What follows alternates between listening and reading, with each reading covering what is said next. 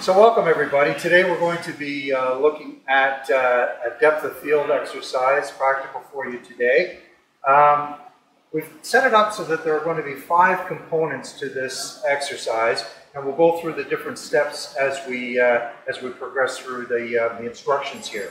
As you can see, we've got this set up with um, multiple objects, in this case three.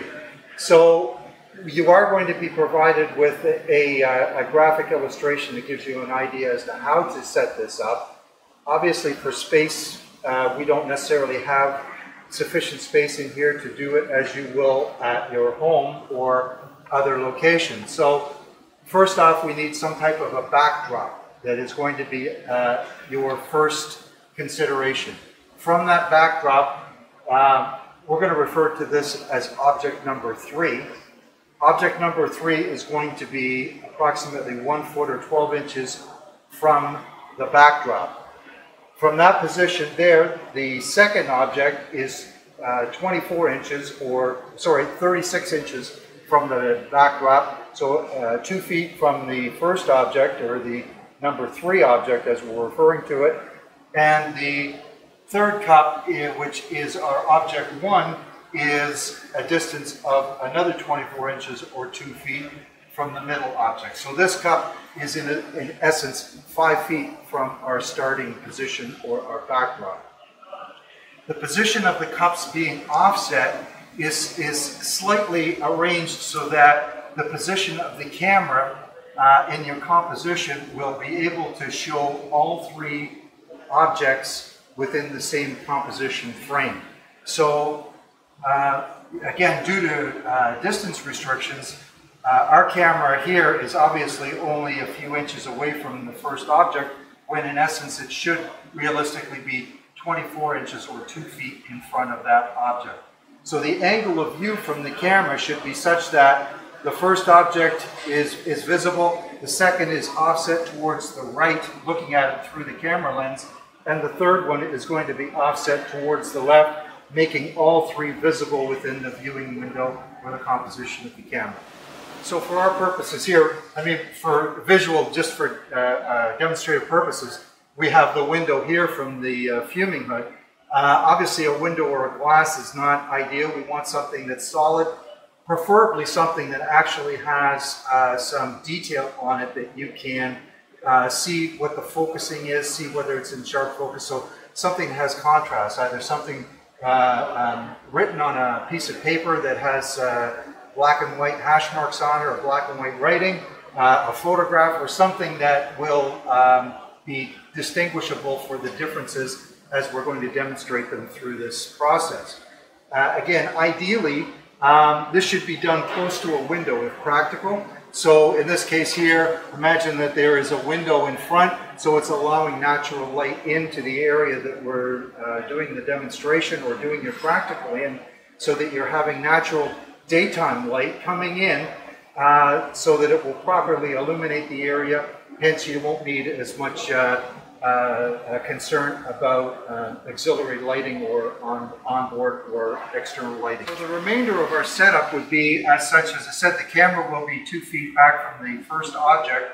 It will also need to be stabilized on something, either on a tripod or on uh, some hard uh, surface that uh, will keep it from having camera motion or also the angle of the lens. In this case here, sitting like this, it's actually tilted a little bit down maybe if you can adjust it so that the camera, uh, raise it up so that the camera is actually sitting level as opposed to pointing at a downward angle.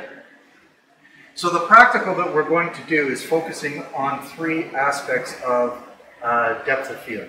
So as we know, uh, the consideration or the definition of depth of field incorporates that area of what is considered acceptable focus between the camera and the object uh, that is being focused on or the focal plane of the, of the image.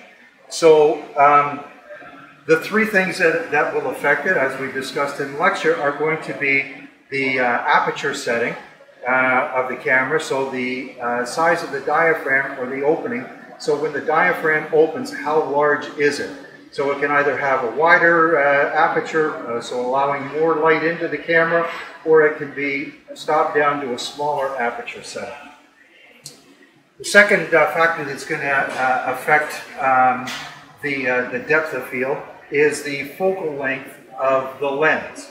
So we have variable focal, focal, length, focal length lenses, um, bearing in mind that the differences between the D7000 and the D7100 is such that um, there's much more of a, a, a, variable with the 7100 series going up to 140 millimeters.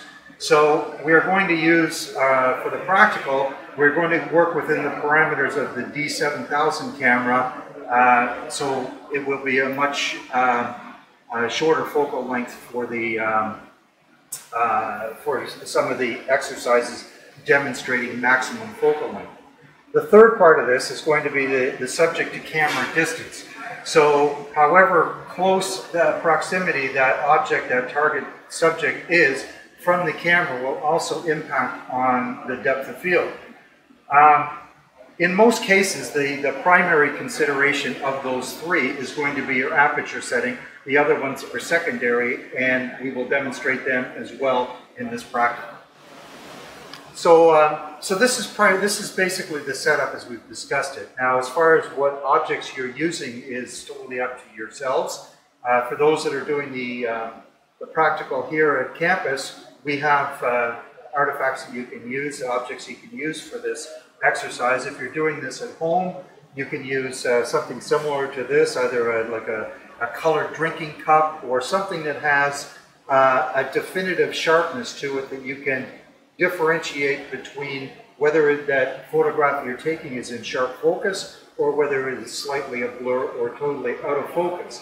So for instance, using um, a flask or a beaker of some sort, it really has no definition as to what is considered in sharp focus, so probably not a good option to use.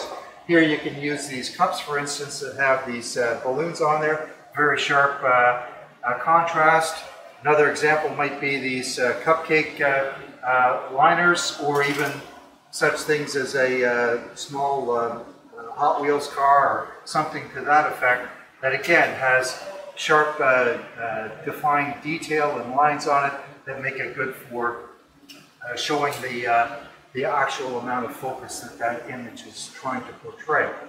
So as we discussed, the primary function of this exercise is to show um, uh, the variables in relation to depth of field, but there's also a secondary component to this of perspective, which is, as I said, that's not really uh, the focus of this focus, but anyway, uh, it will also, uh, um, uh, you'll, you'll see the difference how the perspective is interacted with the, the different settings on the camera as well. You're going to be operating this in full manual mode. So again, using your mode dial, adjusting it to your M, uh, on the uh, body of the, uh, of the lens, switching over to manual, and also on the body of the camera, switching that to manual mode as well. for adjustment of your focal length, you can see that they're on the uh, outer ring here of the, uh, the barrel of the lens. It has the variable focal lengths written on here. So um, some of them are going to be estimates. You can see that there's one that's indicating at uh, 24 millimeters and 35 millimeters, uh, and just rotate it till it's, uh, the proximity is, is correct for what the, uh, the, the um, descriptors of the practical are. Uh, for the focusing, uh, so in order to adjust the focal length, it, again, it is the, the larger of the two um, rubberized gaskets on the outside of the the barrel of the lens. And the smaller one, or the one that's closer to the camera body, is the one that actually adjusts the focusing.